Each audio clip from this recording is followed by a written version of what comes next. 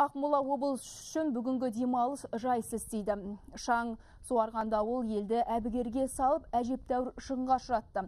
Табиғаттың тосын мінезінен бірнеше үйлердің шатыры ұшып, аялдамалар құлаған. Бірқатар аудандар жарықсыз қалды. Ал Шуче қаласында долы жел шатырға шыққан екі жұмысшыны мұрттай ұшырған. Біреуі оқиға орнында қаза тапса, екіншісі ауыр халде ауруханада жатыр.